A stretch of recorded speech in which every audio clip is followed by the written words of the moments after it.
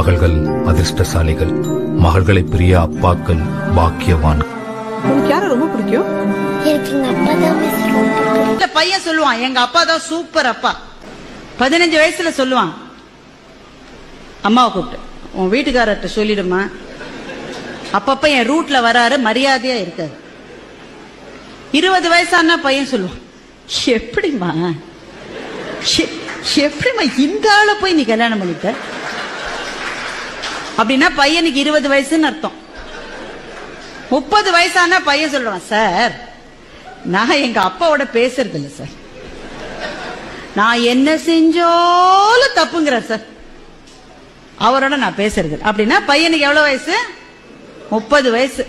அதே பையனுக்கு நாற்பது வயசு ஆயிடுச்சுன்னா அவனுக்கே அப்ப குழந்தைகள் இருக்கும். அப்ப சொல்லுவான் எங்க அப்பா கத்திக்கிட்டே தான் இருப்பாரு. ஆனா பாவம் நல்லவருன்னா அவனுக்கு நாற்பது வயசு ஆயிடுச்சுன்னு அர்த்தம். அவனுக்கே ஐம்பது வயசு ஆயிடுச்சுன்னா சொல்லுவான் அந்த வறுமையிலே எங்க அப்பா எங்களை எப்படி வளர்த்தார் தெரியுமா? மை டாடி இஸ் கிரேட் அப்பாவே மிஸ் பண்றீங்களா? மிஸ் பண்ணாம இருக்க முடியும். அவர் மறைவுக்கு பிறகு அவருடைய நினைவு இல்லாம ஒரு நாள் கூட நான் இருந்ததில்லை.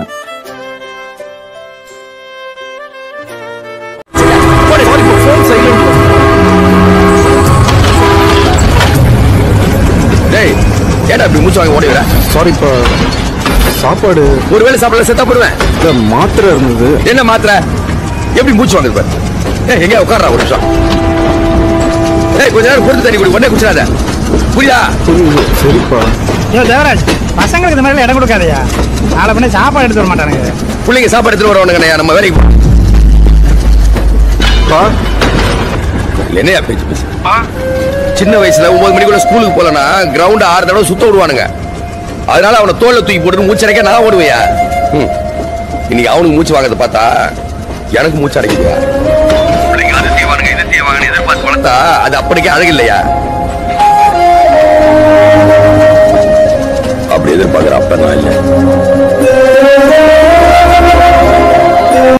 அப்பா அம்மா பேச்சு ரொம்ப கேப்பீளோ அவங்க தானே சார் எல்லாம்.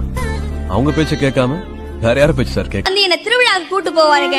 அப்படி கூட்டு போகும்போது பாத்தீங்கன்னா ஒரே கூட்ட நெரிசலா இருக்கும். என்னால சாமியை பார்க்க முடியாது. அப்ப நான் எங்க அப்பாட்ட ரொம்ப நச்சரிச்சுட்டே இருப்பேன். அப்பா என்னால சாமியை பார்க்க முடியல. எனக்கு காட்டுங்கப்பா காட்டுங்கப்பான்னு. அப்ப எங்க அப்பா என்ன தெரியுங்களா பண்ணுவாரு? அவர் தோள் மேல தூக்கி வச்சுக்கிட்டு என்ன காட்டுவாரு சாமி இப்ப தெரியுதா சாமி உனக்கு? சொல்லு கண்ணே இப்ப தெரியுதா சாமின்னு கேட்பாரு. அந்த அறியாத வயசு எனக்கு தெரியலைங்க. ஆனா இப்பதான் நான் புரிஞ்சுக்கிறேன். ஒரு சாமியோட தோல் மேல ஏறிதான் நான் இன்னொரு சாமியை தரிசனம் செஞ்சேன் அப்படின்னா அப்பா என்ற ஒரு உறவு அவ்வளவு அழகா